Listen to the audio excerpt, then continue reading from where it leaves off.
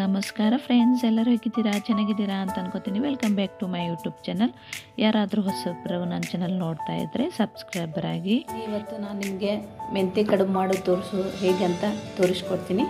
ಮೆಂತ್ಯ ಕಡುಬಿಗೆ ಬೇಕಾಗಿದ್ದು ಮೀನು, ಮೆಂತ್ಯ ಪಲ್ಯ ಇದು ಮೆಂತ್ಯ ಸೊಪ್ಪನ್ನು ನಾನು ಒಂದು ಕಟ್ಟು ಚಿಕ್ಕದಾಗಿ ತಗೊಂಡು ಚಿಕ್ಕದಾಗಿ ಕಟ್ ಮಾಡಿ ತೊಳೆದು ಹೆರ್ಚಿದ್ದೀನಿ. ಇನ್ನೊಂದು ಕಪ್ಪಲ್ಲಿ ಏನಂದರೆ ಜೋಳದ ಹಿಟ್ಟು ಇದಕ್ಕೆ ಇವೆರಡು ಮೇನು ಜೋಳದಿಟ್ಟು ಮತ್ತು ಮೆಂತ್ಯ ಸೊಪ್ಪು. ಇದು ಜೋಳದ ಹಿಟ್ಟು ನಾನು ಜಾಡಿ ಹಿಡಿದು ಕ್ಲೀನ್ ಮಾಡಿ ಇಟ್ಟಿದ್ದೀನಿ. ಮತ್ತು ಇದಕ್ಕೆ ಏನೇನು ಬೇಕಂದರೆ ಬೇಳೆ, ತೊಗರಿ ಬೇಳೆ, ಒಂದು ಕಪ್ಪು ಅರ್ಶಿಣ ಪೌಡ್ರು ಮತ್ತು ಬೆಳ್ಳುಳ್ಳಿ, ಒಂದು ಐದು ಹಸಿಮೆಣಸಿನ್ಕಾಯಿ ಕರಿಬೇವು ಸೊಪ್ಪು ಹಾಕಿದರೆ ಹಾಕ್ಬೋದು, ಇಲ್ಲಾಂದ್ರೆ ಇಲ್ಲ ಆಪ್ಷನ್ಸು ಕೊತ್ತಂಬರಿ ಸೊಪ್ಪು ಕೂಡ ಅಷ್ಟೇ. ತೊಳೆದು ಹೆಚ್ಚಿಟ್ಕೊಂಡಿದ್ದೀನಿ ಜೀರಿಗೆ, ರುಚಿಗೆ ತಕ್ಕಷ್ಟು ಉಪ್ಪು. ಈಗ ಜೀರಿಗೆ ಮತ್ತು ಹಸಿಮೆಣಸಿನ್ಕಾಯಿನ ಪೇಸ್ಟ್ ಮಾಡ್ಕೊತೀನಿ. ಇದಕ್ಕೆ ಮೇನು, ಮೆಂತ್ಯ ಸೊಪ್ಪು ಹೇಗೆ ಜೋಳದಿಟ್ಟು ಆ ಥರನೇ ಒಂದು ಒಂದು ನೀವು ಬೆಳ್ಳುಳ್ಳಿ, ಇದು ಜಾಸ್ತಿ ನೆಗಡಿ, ಕೆಮ್ಮು ಬಂದಾಗೆ ಇದು ಊರ ಸೈಡು ಆಮೇಲೆ ಚಳಿಗಾಲದಲ್ಲಿ ಭಾಳ ಮಾಡ್ತಾರೆ. ಬೆಳ್ಳುಳ್ಳಿ ಎಷ್ಟು ತೂತೀವಿ ಅಷ್ಟು ಒಳ್ಳೆಯದು. ಬೆಳ್ಳುಳ್ಳಿ ಇಷ್ಟ ಇಲ್ಲ ಅನ್ನೋರು ಬಿಡ್ಬೋದು. ಅಂದರೆ ಒಂದು ನಾಲ್ಕು ಅಷ್ಟೇ ಹಾಕಿ ನಾನು ಜಾಸ್ತಿನೇ ಬಳಸ್ತೀನಿ. ಇದಕ್ಕೆ ಎರಡು ತೊಗೊಂಡಿದ್ದೇನೆ. ಸುಲಿದ್ಬಿಟ್ಟು ಇಟ್ಟಿದ್ದೀನಿ ಕ್ಲೀನ್ ಮಾಡಿ.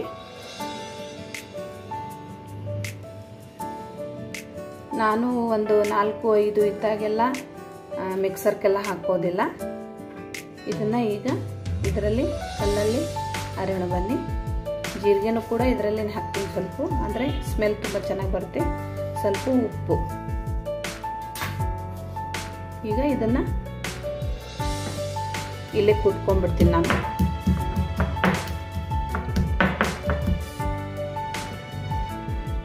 ನೋಡಿ ಇದು ಈ ಥರ ಕುಟ್ಬೇಕಾದ್ರೆ ಸ್ಮೆಲ್ಲು ಜೀರಿಗೆದು ಚೆನ್ನಾಗಿ ಬರುತ್ತೆ.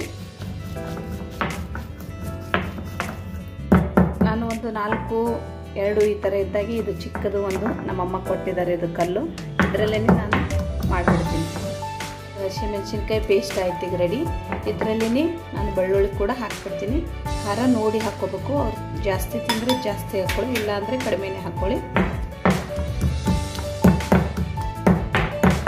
ಇದೆಲ್ಲ ಬೆಳ್ಳುಳ್ಳಿನ ಸಣ್ಣದಾಗಿ. ಆಮೇಲೆ ಕರಿಬೇವಿನ ಸೊಪ್ಪು ಇದರಲ್ಲೇ ಹಾಕ್ಬಿಟ್ರೆ ಸ್ವಲ್ಪ ಸ್ಮೆಲ್ ಚೆನ್ನಾಗಿ ಬರುತ್ತೆ. ಇದು ಜಾಸ್ತಿ ಏನು ಸಣ್ಣ ಸ್ವಲ್ಪ ಸಣ್ಣ ಮಾಡಲ್ಲ ನಾನು, ಇಷ್ಟೇ ಇಡ್ತೀನಿ. ಅಂದರೆ ಬೆಳ್ಳುಳ್ಳಿ ಸ್ವಲ್ಪ ಬಾಯಲ್ಲಿ ಸಿಗಬೇಕು. ಅದಕ್ಕೆ ಇದನ್ನು ಈಗ ಒಂದು ಬೌಲಲ್ಲಿ ತೆಗೆದಿಡೋಣ, ಬನ್ನಿ.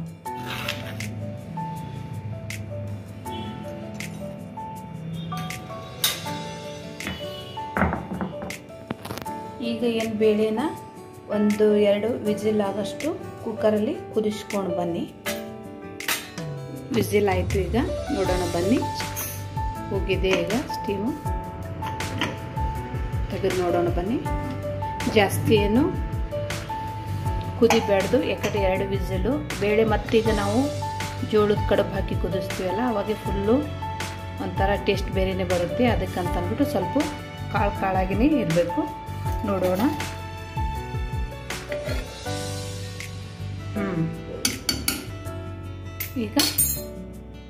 ಜೋಳದ ಹಿಟ್ಟು ಕಲಿಸ್ಕೊಂಡು ಬನ್ನಿ. ನಾನೇನು ಜೋಳದ ಹಿಟ್ಟು ಒಂದು ಬೌಲ್ ತೊಗೊಂಡಿದ್ದೆಲ್ಲ ಅದನ್ನೇ ಕಲಿಸ್ಕೊಂಡು ಬನ್ನಿ.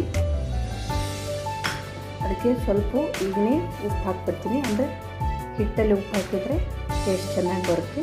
ಇದಕ್ಕೆ ಬಿಸಿನೀರಲ್ಲಿ ಕಲಿಸ್ಕೊತೀನಿ ಬನ್ನಿ ಈಗ. ನೀರು ಕುದೀತಾ ಇದೆ ಈಗ. ಸ್ವಲ್ಪ ಬಿಸಿನೀರು ಹಾಕ್ಕೊಂಡ್ರೆ ರೌಂಡಾಗಿ ಚೆನ್ನಾಗಿ ಬರ್ತಾವೆ.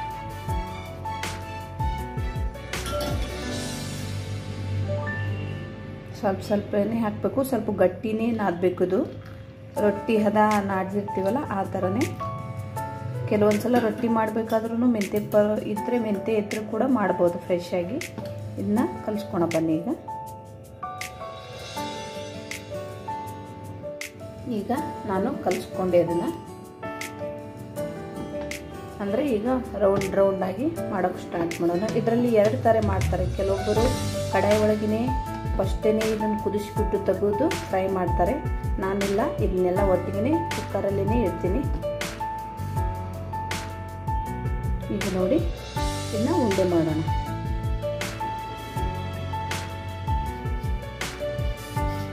ಸ್ವಲ್ಪ ಎಣ್ಣೆ ಹಚ್ಕೊಂಡು ಮಾಡಿದ್ರೂ ಪರವಾಗಿಲ್ಲ, ನಾನು ಸ್ವಲ್ಪ ಎಣ್ಣೆ ಹಚ್ಕೊತೀನಿ ರೀ.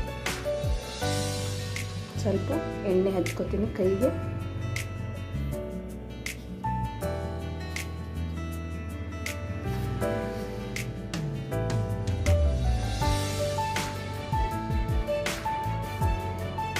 ಈ ಥರ ರೌಂಡ್ ಶೇಪಲ್ಲಿ ಯಾವ ಶೇಪ್ ಬರುತ್ತೆ ನಿಮಗೆ ಆ ಶೇಪಲ್ಲಿ ಮಾಡಿ.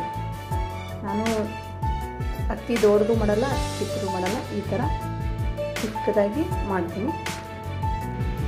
ಈಗ ಚಿಕ್ಕ ಚಿಕ್ಕದಾಗಿ ಈ ಥರ ನಾನು ರೆಡಿ ಮಾಡ್ಕೊಂಡೆ ಹಿಟ್ಟು ನೋಡಿ ನಿಮಗೆ ಯಾವ ಶೇಪಲ್ಲಿ ಬೇಕು ಆ ಶೇಪಲ್ಲಿ ಮಾಡ್ಕೋಬೋದು. ಇದು ಡಿಲಿವರಿ ಆಗಿರ್ತಿದ್ದಲ್ಲ ಬಾಣಂತಿಯರಿಗೆ ಅವ್ರ ಅವ್ರಿಗೆ ಕೂಡ ಇದು ಮಾಡ್ತಾರೆ. ಯಾಕಂದರೆ ಜೋಳದ ಹಿಟ್ಟು ಜಾಸ್ತಿ ಉತ್ತರ ಕರ್ನಾಟಕದಲ್ಲಿ ಜೋಳದ ಹಿಟ್ಟು, ಬಿಸಿ ರೊಟ್ಟಿ ಮೆಂತೆ ಪಲ್ಯ, ಮತ್ತು ತೊಗರಿಬೇಳೆ, ದಾಲು, ಕೊಟ್ಟೆ ಕೊಡ್ತಾರೆ. ಇದನ್ನೂ ಒಂದು ಅದರಲ್ಲಿ.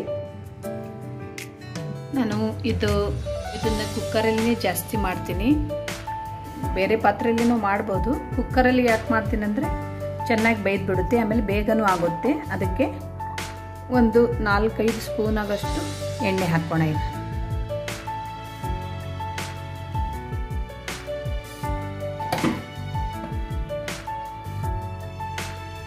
ಇದು ಎಣ್ಣೆ ಕಾಯ್ದ ತಕ್ಷಣ ಜೀರಿಗೆ ಹಾಕೋಣ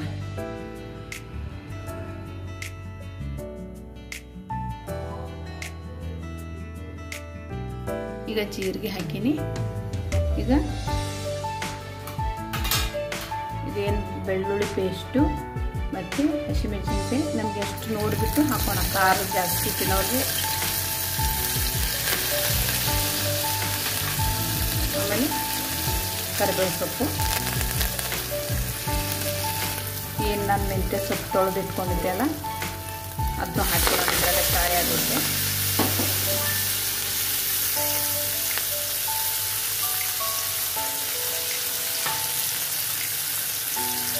ಸ್ವಲ್ಪ ಅರಿಶಿನ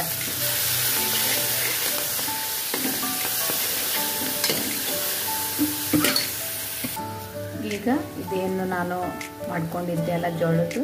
ಇದನ್ನು ಹಾಕ್ಬಿಡ್ತೀನಿ ಇದರಲ್ಲೇ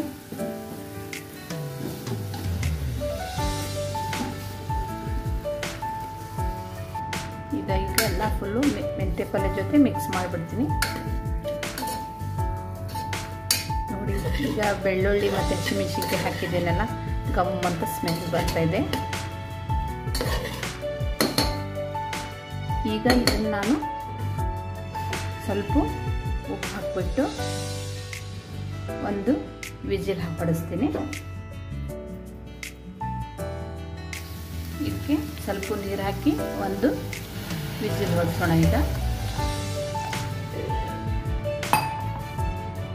ನೋಡಿದು ಎರಡು ವಿಸಿಲ್ ಆಯಿತು. ಈಗ ಅಲ್ಲಿ ಜೋಳದ್ದು. ಯಾವ ಥರ ಕುದ್ದಿದೆ ಈಗ ನಾನು ಏನು ಕುದಿಸಿಟ್ಕೊಂಡಿದ್ದೆಲ್ಲ ಬೇಳೆ ಅದನ್ನ ಈಗ ಹಾಕ್ತೀನಿ. ಯಾಕೆ ನಾನು ಒಟ್ಟಿಗೆ ಹಾಕಲ್ಲ ಅಂದರೆ ಫುಲ್ಲು ಅದು ಬೇರೆನೇ ಟೇಸ್ಟ್ ಬರುತ್ತೆ. ನಾನು ಯಾವಾಗಲೂ ಮಾಡೋದು ಹೀಗೆ. ನಿಮಗೆ ಹೆಂಗೆ ಕಂಫರ್ಟೇಬಲ್ ಆಗುತ್ತೆ ಆ ಥರ ಮಾಡಿ. ನಾನು ಇದೇನು ಬೇಳೆ ಕುದಿಸಿಟ್ಟಿದ್ದೆಲ್ಲ ಅದನ್ನು ಹಾಕ್ತೀನಿ ನೋಡಿ ಈಗ.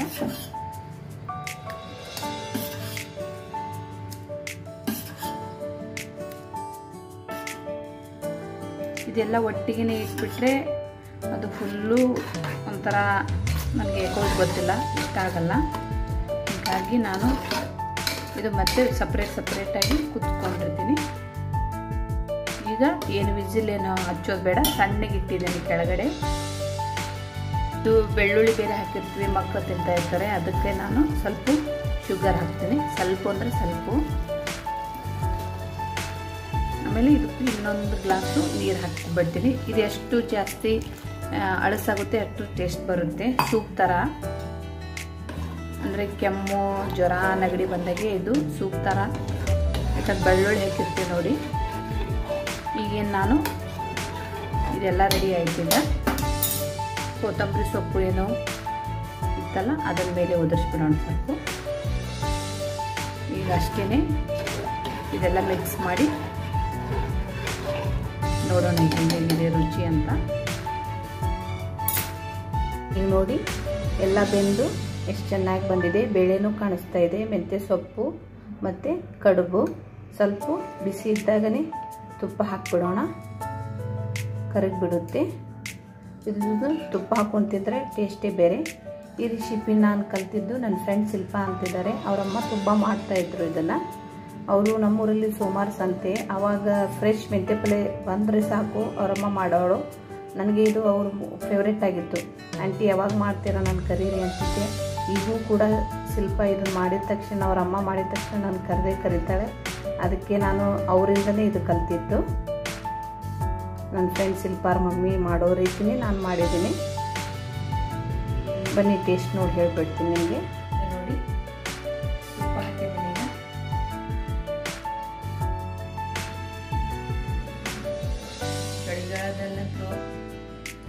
ಚೆನ್ನಾಗಿ ಇದು ಬಿಸಿ ಬಿಸಿದಾಗಿನೇ ತಿನ್ನಬೇಕು ಇದು ಮಾಡಿದ ತಕ್ಷಣ. ತುಪ್ಪ ಮತ್ತು ಬೆಳ್ಳುಳ್ಳಿ ಫ್ಲೇವರ್ ತುಂಬ ಚೆನ್ನಾಗಿ ಬರ್ತಾ ಇದೆ. ನೀವು ಕೂಡ ಒಂದ್ಸಲ ಮನೇಲಿ ಟ್ರೈ ಮಾಡಿ ಹೇಳಿ ನನಗೆ ಕಮೆಂಟ್ಸ್ ಮೂಲಕ. ಹೀಗೆ ನನ್ನ ಚಾನಲ್ ನೋಡ್ತಾ ಇರಿ ಲೈಕ್ ಮಾಡಿ ಕಮೆಂಟ್ಸ್ ಹಾಕಿ ಸಬ್ಸ್ಕ್ರೈಬರ್ ಹಾಕಿ, ಸಹಾಯಕವೇ ಕೈಲಾಸ. ಮತ್ತು ನಾನು ನಿಮಗೆ ನೆಕ್ಸ್ಟ್ ವಿಡಿಯೋದಲ್ಲಿ ಸಿಗ್ತೀನಿ. Bye friends